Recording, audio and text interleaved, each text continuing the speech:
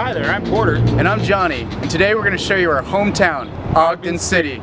Ogden City was founded in 1845. Considered a junction city, Union Station sits at the bottom of 25th Street, which is home to many shops, restaurants, hotels, and nightlife. We can eat anywhere here on 25th Street, but today, today's Saturday, and something very special is going on on Saturday.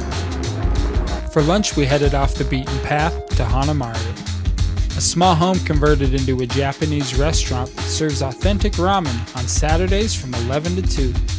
If you're ever in town, you should stop in for a bowl. It'll run you about $9. Just got done with a great meal, and it's such a beautiful day outside, and the mountains are so close. We should go for a hike. Ogden has an abundance of hiking and biking trails for any and all levels of experience, including world-class climbing and bouldering. So, we made it to the top. A couple of waterfalls. And some amazing views, too.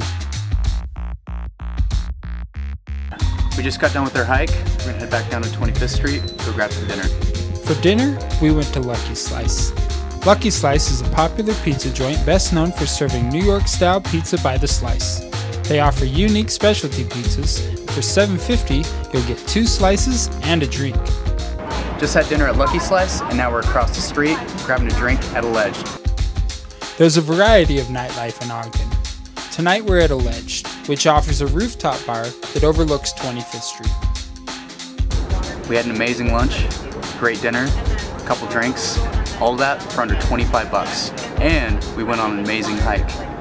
It's been a great day in Ogden, Utah. Until next time, cheers.